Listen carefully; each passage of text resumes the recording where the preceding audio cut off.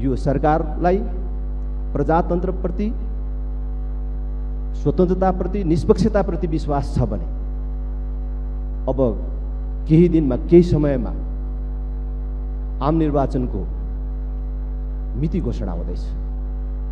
राष्ट्रिय प्रजातन्त्र पार्टीको तर्फबाट म माग गर्न चाहन्छु निर्वाचनलाई स्वतन्त्र निष्पक्ष र धाँधली रहित बनाउनको लागि स्वतन्त्र चुनावी सरकारको गठन होस्।